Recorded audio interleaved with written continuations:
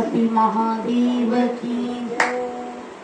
धीरे धीरे चलो बोले घुंगरू ना बाजे। धीरे धीरे चलो बोले घुंगरू ना बाजे।